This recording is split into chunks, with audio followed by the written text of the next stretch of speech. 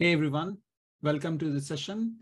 In this session, we are going to talk about key lessons learned from building a wealth management portal using cloud native architecture. I am Ankur Kumar. I'm a senior director of technology. And so before we get into the session details, let me give you a brief intro about myself. Uh, I've been with Sapient for more than 10 years, with industry for 22 plus years. I am the technology lead for financial services.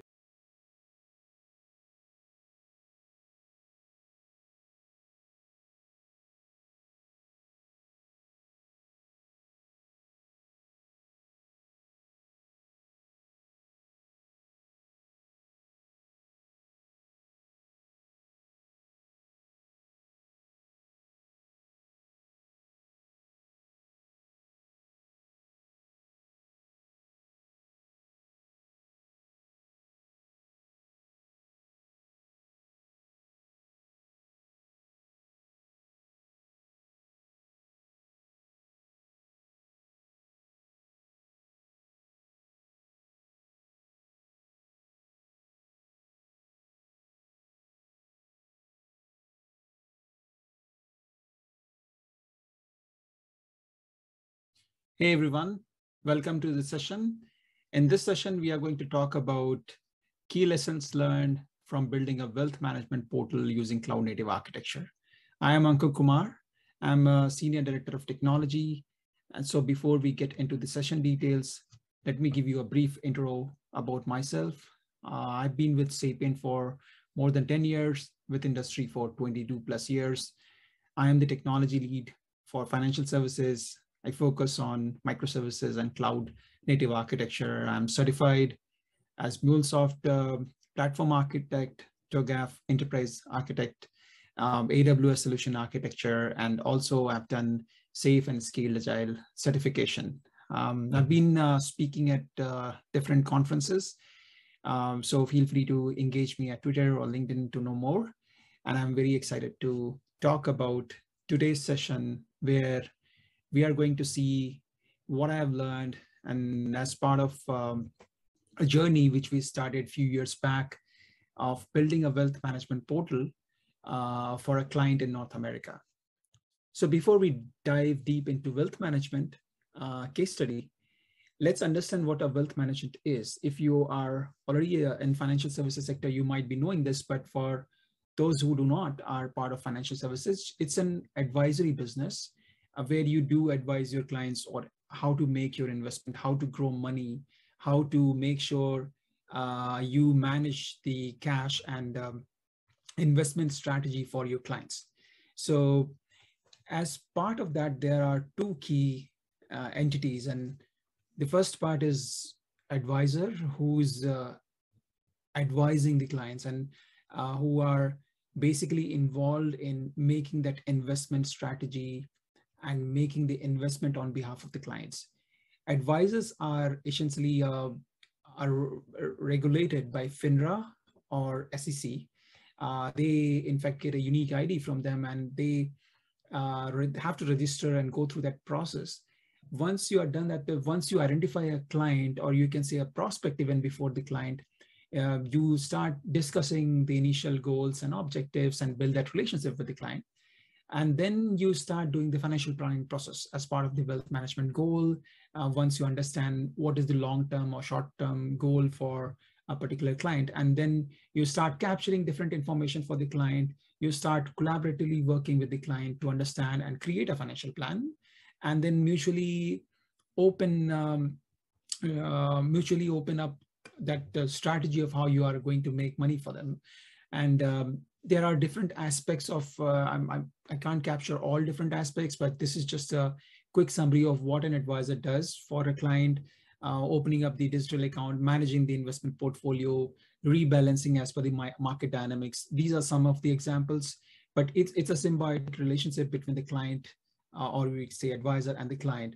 So from the client perspective, what they're expecting from advisor is that um, once they understand their financial objective, basically help them grow the money, uh, provide the details of how they're doing it. Uh, they have to definitely work and trust the advisor because they are sharing all this information like bank accounts or or all the financial details so that they can plan for their financial future. Um, exchange the documents and um, they are giving the an authority to advisor to manage the financial plan. So you pay for advisory fees uh, as part of your assets under management but um, uh, it's advisor and client they are working um, closely to make sure that the money or the investment strategy is in is in uh, place for that.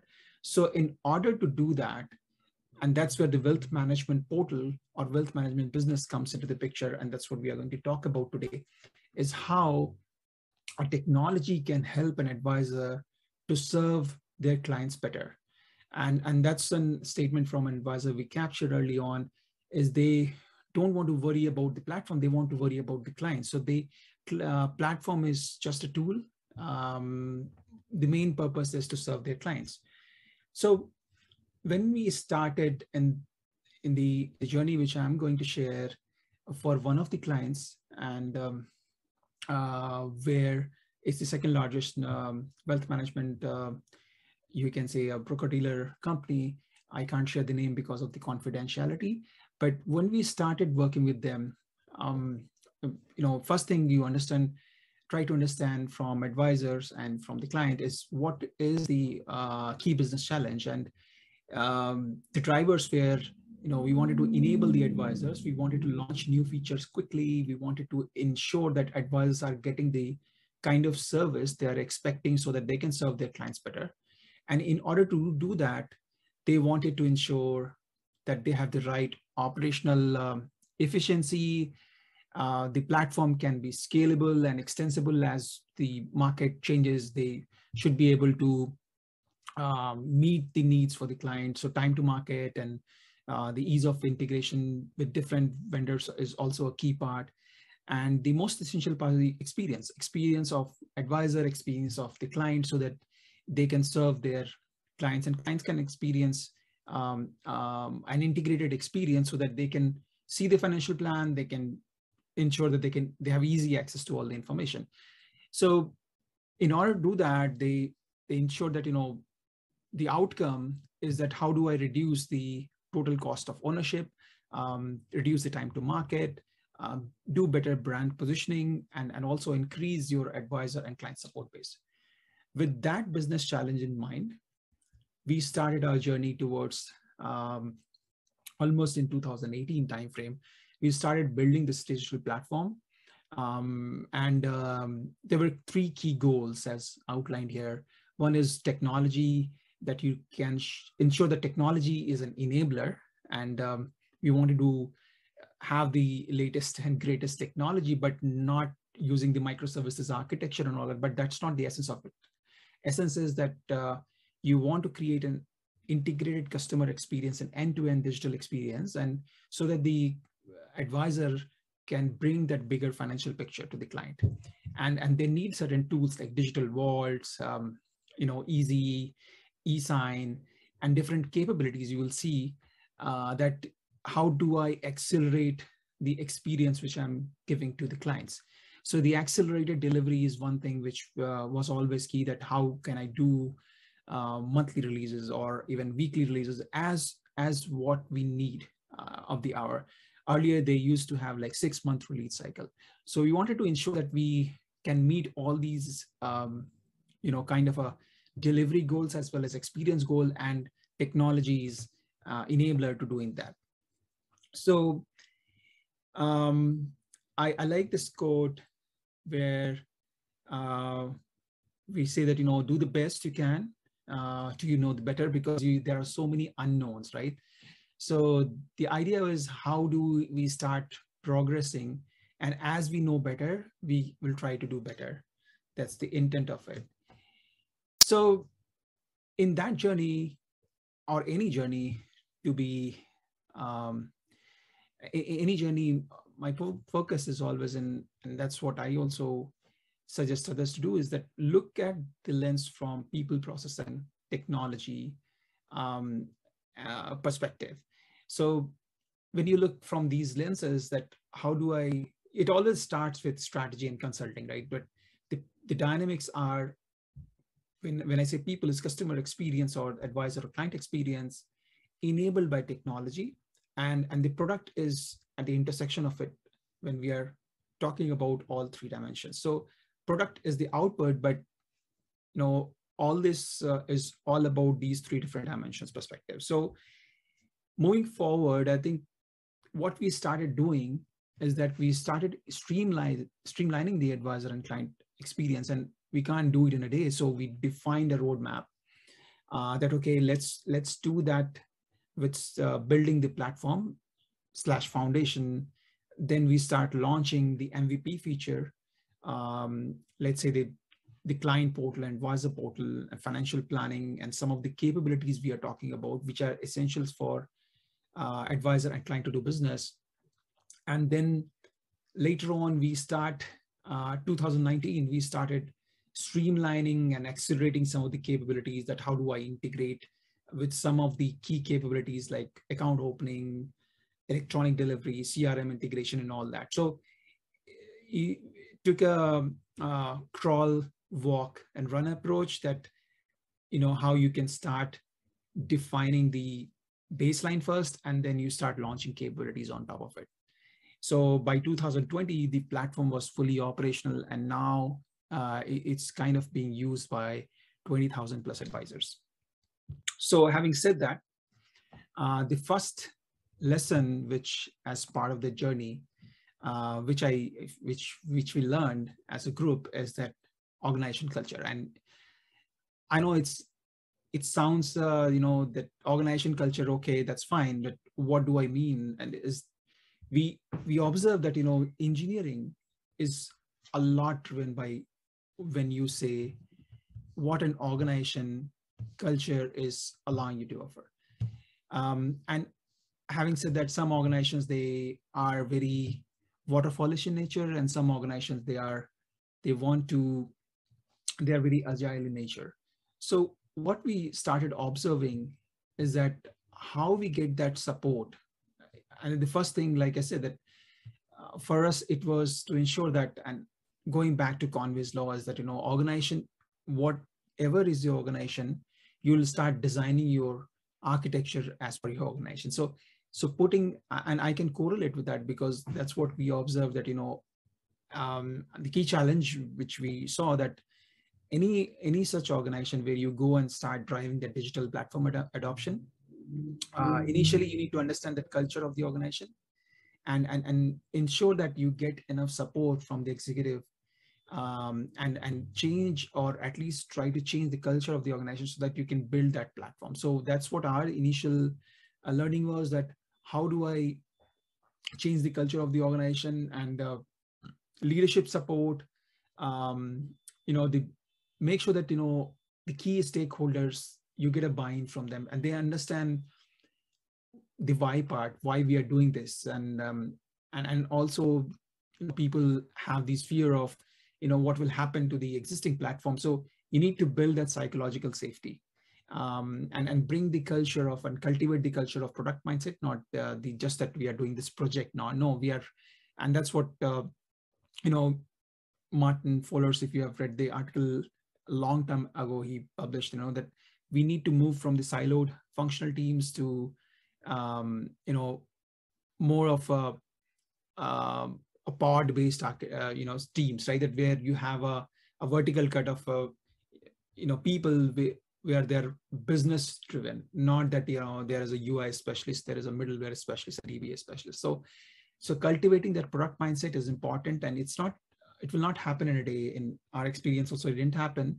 But gradually you start um, doing that in first sprint second sprint and, and you'll start seeing that you know after a few sprints of development and following that approach and consistently doing it you'll see that that will start everybody will start adopting to it so you need to uh, promote that culture and ensure that you know that you um, also promote the culture of you build it, you run it kind of culture. And that's what, after our first release, we wanted the dev team to start operationalizing it as well. So um, that that's another thing which culturally you have to enforce.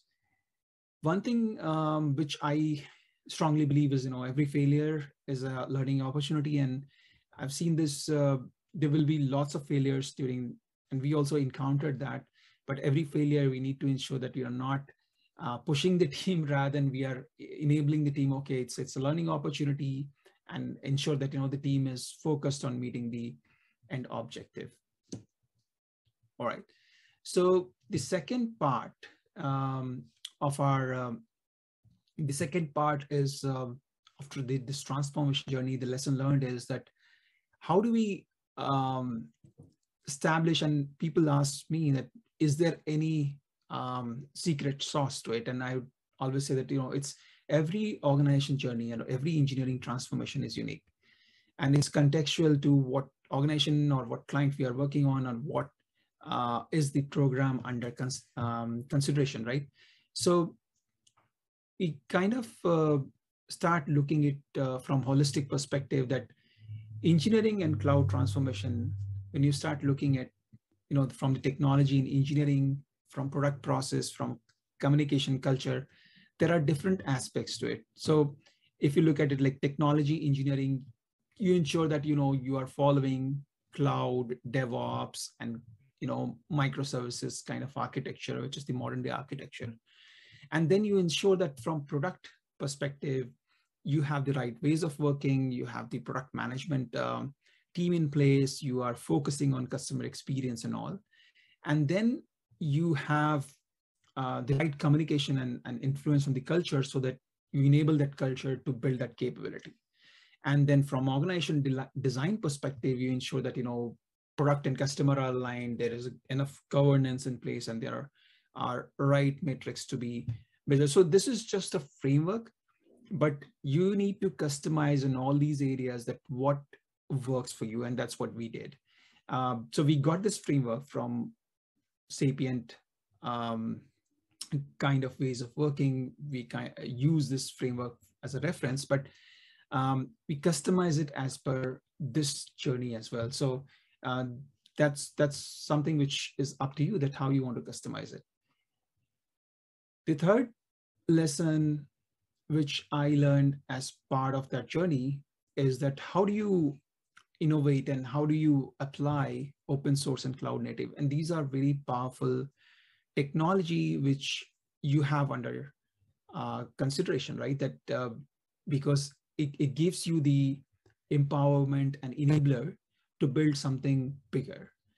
So when we started uh, defining the architecture, and, and this is a very simplest, simplistic view of uh, the architecture and the logical architecture, which um, I can't share the details, but there's a, you can say a 50,000 feet view of the, uh, the logical architecture that we had the user experience layer for advisor portal and the client portal.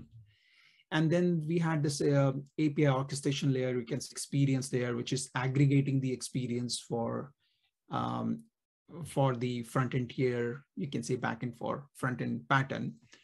Um, and then you have the microservices layer beneath that, which is uh, using caching, messaging, and other different uh, features. But essentially, these microservices are being orchestrated uh, by the upper layer, and then uh, you know services are being rendered to the front end tier.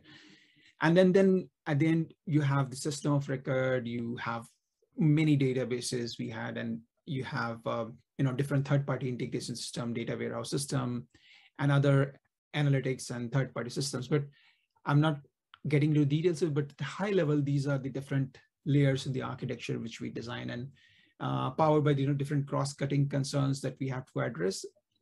So when we start laying out this foundational architecture, we started seeing that, okay, what are the different elements of the architecture which we can meet with open source? And as an engineering principle, we were always keen to look into what are the capabilities open source or the cloud native can offer.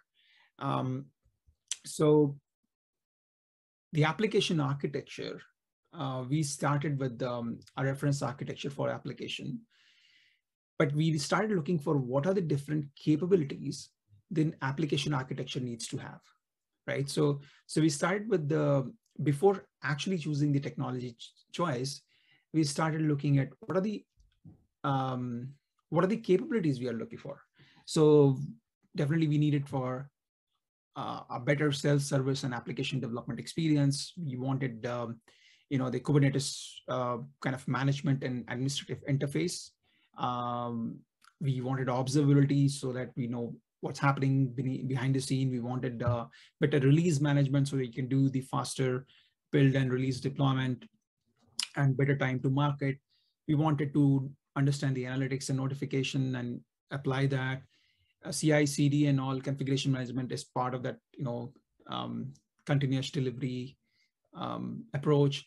Um, and, and, and then we wanted uh, to enable that, the whole um, support for CI/CD. We wanted a container registry, software supply chain, secrets management on all these um, different set of capabilities which you typically have uh, as part of your uh, software delivery.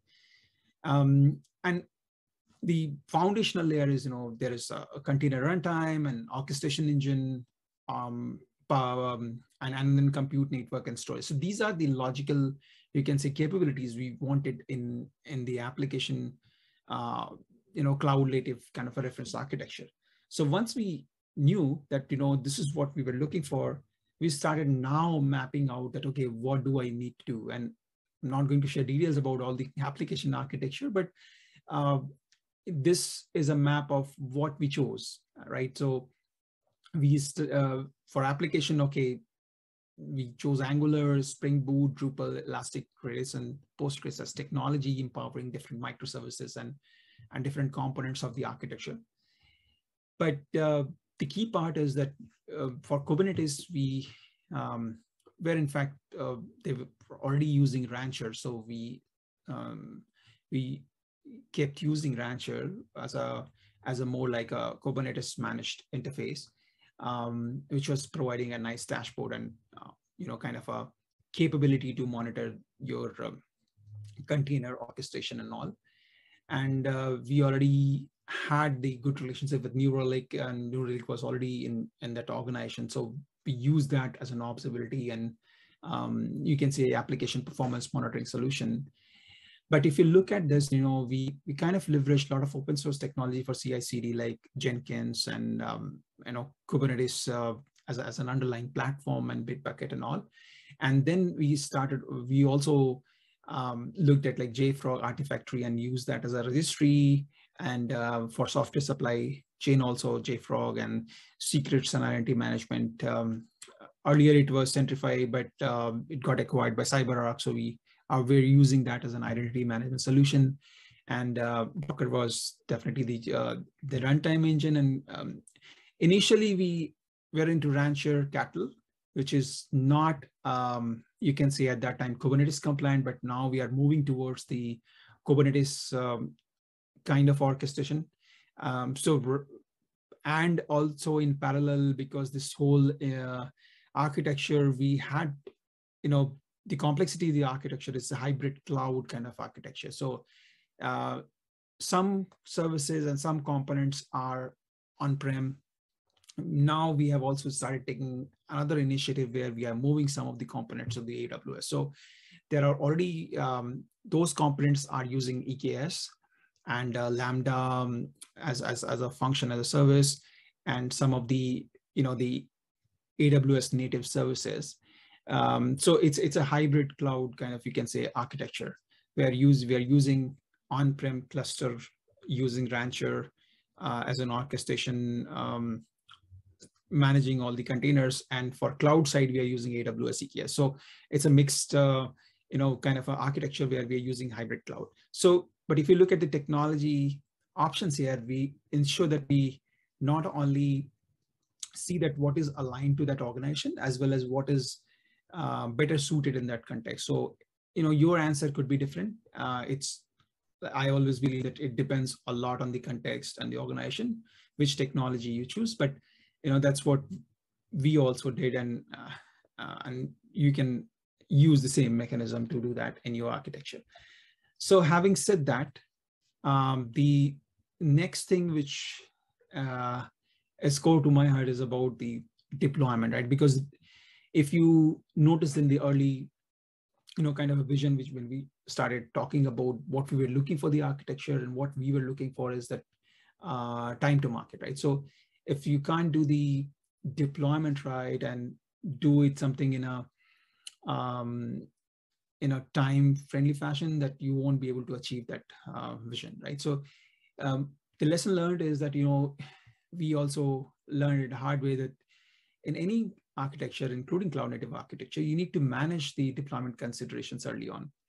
And when i say manage um, you don't need to wait you know till the whole because in early days you are focused more on development so you're kind of uh, uh, don't ignore the deployment aspects of it because that is where uh, will bring a lot of efficiency for the future releases.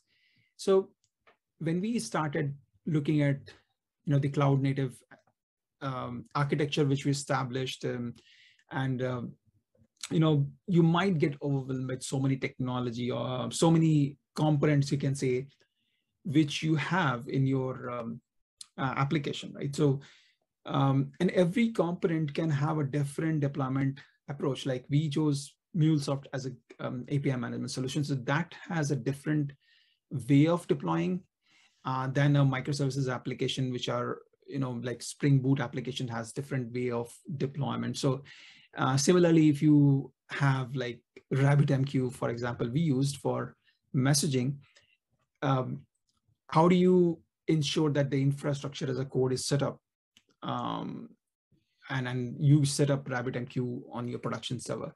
So every component has to be considered uh, from the overall deployment perspective, and that's the essence of it. That's what I'm trying to communicate here. Is that once you understand your the application dynamics, you need to ensure that you have the details of each component that how you are going to manage the deployment of that aspect, and that's what we also did. Um, so based on that, you know, Kubernetes is foundational. Uh, and we all know that, you know, when you are discussing a Kubernetes as a strategy, uh, one of the lesson learned is that you need to be very early on discussing all these strategy. And we learned it hard way again that um, you start with like rancher cattle and now we are moving to the full blown Kubernetes that it's, it's a painful journey if you're doing that. So think about the Kubernetes journey early on, that what part of, and when you say Kubernetes, there are some parts nowadays you are having serverless, you are having, like we are talking, we have also deployed in AWS Fargate. So you need to think about what components you want to deploy to serverless, what fits better for that area, and what component you want to keep it to, um, you know, your managed Kubernetes, and what you want to uh, still do a self-managed engine like Rancher Cattle. So I think that is where a lot of innovation and um, you have many options, uh, but you need to be very clear in terms of establish. So the key lesson is that, you know, establish that strategy first and, and for each component, that strategy can be different. Okay. Um, the fifth, uh, and the, that's one of the most important areas is that when you're building a complex solution like a wealth management, um, you can't build every capability by your own. Uh, why? Because their time to market is a pressure. You need to launch like we launched in nine months. So we, we need to ensure that you launch that capability sooner and, and then get the early feedback. So integration, why integrations, um, what we learned is it's, it's, a, it's a big accelerator and um, um, you can keep the patterns to what industry standards are, but some of the capabilities, for example, uh, financial planning, you, we used MoneyGuide Pro, and and that's a um, that's a vendor providing financial planning some of the areas of financial planning, but um, we we also integrate with some vendors like Yodlee uh, for account aggregation. So why we are doing that? Why not building that capability yourself? Because if you start doing for every capability, you need to decide that whether you want to do build or buy. But if you don't want to do buy, then it's the time to market will increase. So that balance we need to keep. And that's why integration plays a key role in any such solution like wealth management. Uh, some of the capabilities you're not going to build from scratch. You are going to take uh, vendor offered capabilities and you're going to integrate that capability so that you have an integrated experience. So the essence is that, you know, it's an accelerator, but you can keep it standardized.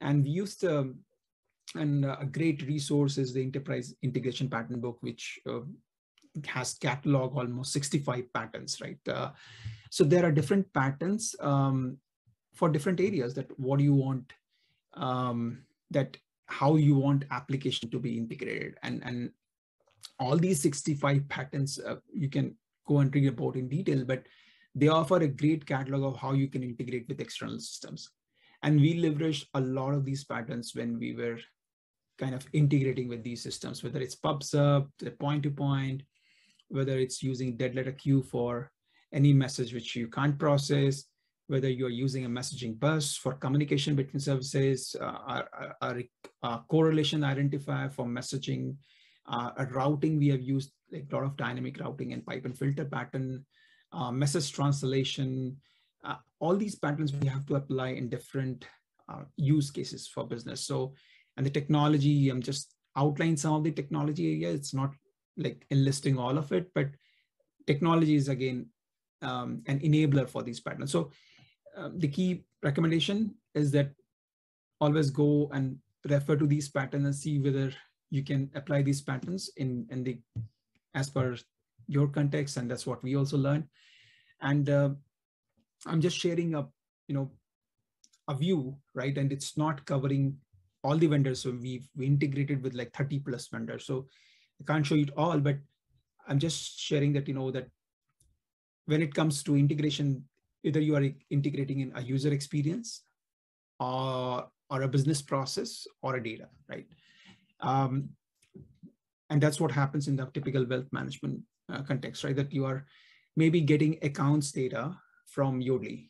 And uh, when I say accounts data, suppose I have a Bank of America account. I'm, I'm just sending a link to my account. So, and wealth management professional need that information. So that data is coming through Yodlee to your wealth management system. So some integrations are you know required like MoneyGuide, like i talked about it requires integration in all three areas like experience process and data some are and, and same goes for account linking and aggregation we were leveraging you know all three aspects and some are you know you're only like research report like morningstar we, it's a process based integration where we are getting a pdf or data from morningstar and then ingesting that data and then keeping it in our system and then the experience part is what we own and uh, similar to that, you know, in that wealth management portal, uh, you always have some custodian like Pershing or Broadridge. So they are providing you the different um, statements and all. So that is again, uh, in, in my view, it's like it's a data and process kind of integration. So, so what I'm trying to communicate here is that based on different vendors that and what capability you want to build and buy, you have to apply, apply different integration patterns. So be, be clear on what you want to apply, what area of integration it is, and, and refer to that integration catalog so that you are you're kind of using this industry standard. And that's what we also did. Um, and this is just a sample of what we were talking about, you know, how you are getting data through batch or ETL or a streaming interface. Uh, typically what happens is that some of the integration touch points you can't even do uh, you know the real-time integration suppose you are getting a uh, a data which is too the volume is too much right because of or some regulatory purpose you can't do a real-time integration. You have to provide the batch integration interface interface as well. So this is just a, a view of how you can you know how we have kind of ingested as well as um, you know kind of a built that batch interface as well. But um, again, applying the same set of patterns from the catalog, which we talked about. And that's what the lesson is that, you know, keep um, all your integration as per, you know, the integration patterns and, and mostly keep it um, standardized, right? So that's, that's the key essence. Um, the other last point, I just want to make sure you get it from the engineering standpoint is that later on, we realized that it's very important to have a platform engineering team. And in, in initial stage, when we were foundation, building the foundation architecture, the platform engineering team is by default, everybody is kind of contributing in that area of building that platform. But late at later stage, that becomes more critical. And that's what we also learned. So we saw that, you know, some of the areas like if I look at the dev and ops part of it, the when we established the platform engineering team, we saw that we gained a lot of momentum um, when we had a focus team. And that's a lesson that if you have not done that, establish a platform engineering team.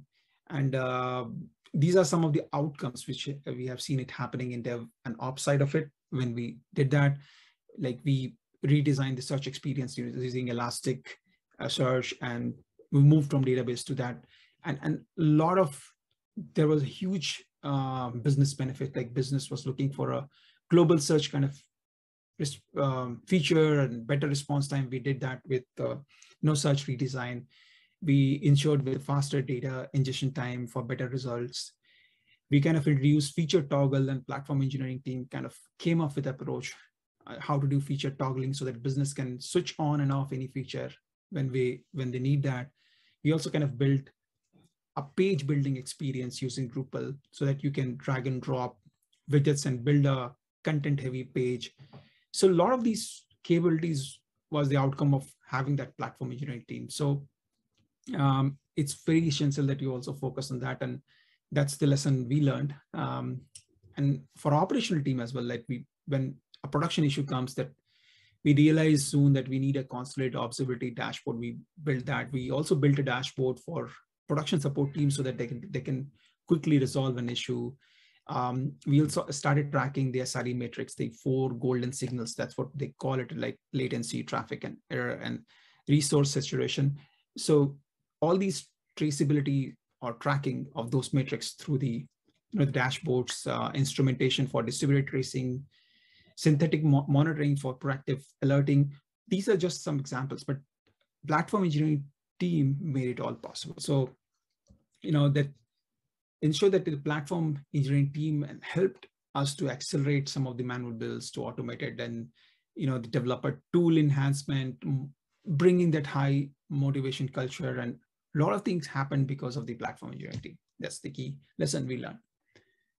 So all this is just to create the business impact. So want to highlight um, a quick slide that what impact we created. And I, I just taken um, you know, the advisors feedback, what they sent, you know, once they, in the initial release, once that happened, they experienced the advisor portal um, and they kind of started using it, you know, that, that speaks for itself, that how this type of environment was promoting a good relationship for them to build with uh, their clients.